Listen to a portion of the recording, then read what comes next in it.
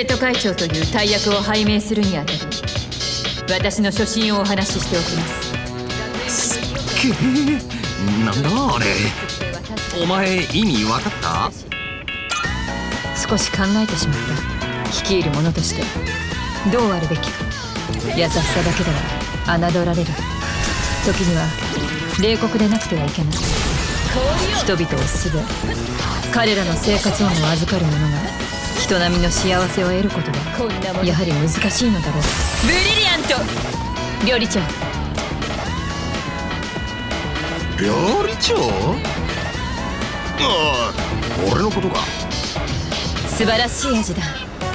こんな感動は久しぶりだな。ブイヨンには何を入れているんだブイヨンなんだよそりゃ